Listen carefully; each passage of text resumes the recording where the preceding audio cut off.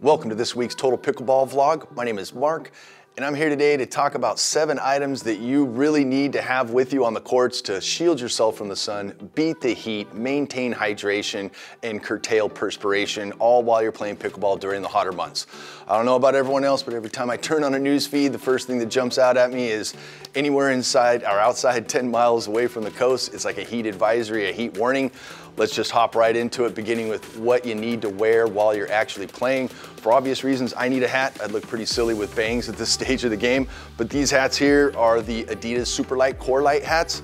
Uh, even the black is pretty reflective. Obviously, the white is probably gonna do a little bit better job at reflecting. This is uh, the ladies version, not that much uh, difference between the men's and uh, ladies fit.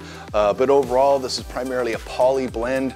It's gonna uh, kind of come out of the wash the same way it went in time after time, shields me from the sun, and definitely kind of wicks the moisture away, keeping my head a little cooler, which I'm known to be a little bit of a hot head on the court, so I need as much of that as possible. And next up, Obviously, I'm not gonna be able to ask my opponent not to lob when I'm on the sunny side, so I need a really good pair of glasses to kind of help with clarity and shield, again, myself from the sun. These happen to be the Knockaround Fast Lanes. I really enjoy these glasses. They provide great coverage, a really cool style with a kind of a translucent uh, frame. Uh, the knockarounds come in several different colors, styles, and there are also uh, different knockaround frames to choose from on our site as well. Get yourself a good pair of sunglasses, shield yourself from the sun for sure.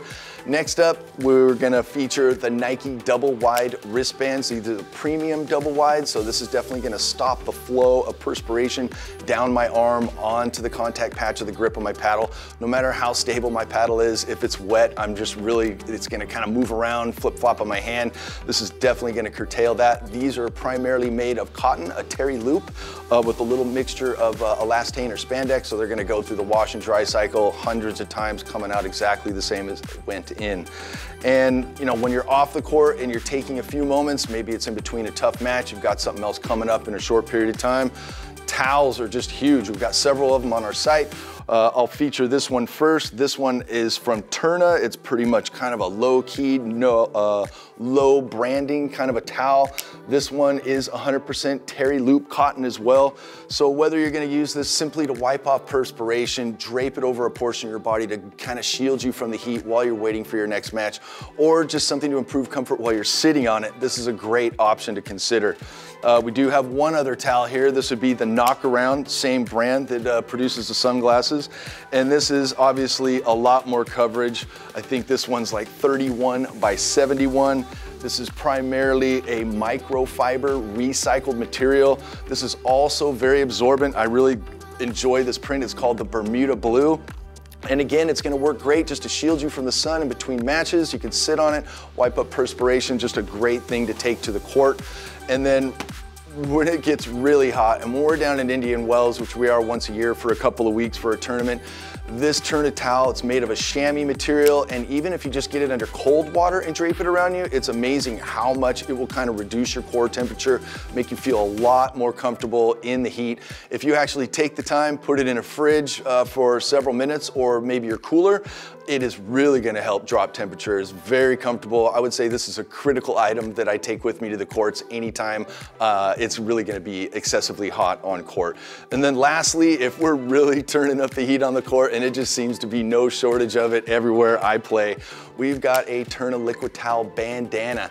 Uh, the material that encases the little cooling beads is 100% cotton, and what you're doing with this one is kind of rinsing it out, spreading out the beads, and putting it in a cooler for a few minutes. This one really stays cool.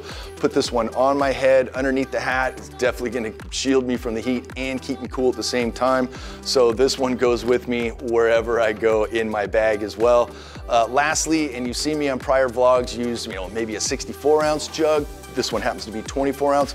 Make sure you're staying hydrated. This particular one here is the Nike SS Recharge uh, 24 ounce straw uh, bottle. This one is stainless steel on the inside. It's gonna keep everything very cold. It's got a nice flip up lid here where you can uh, easily carry it. And then also It's a straw bottle, if I can get this open here, which is connected to a detachable straw, which is very easy to maintain and keep clean.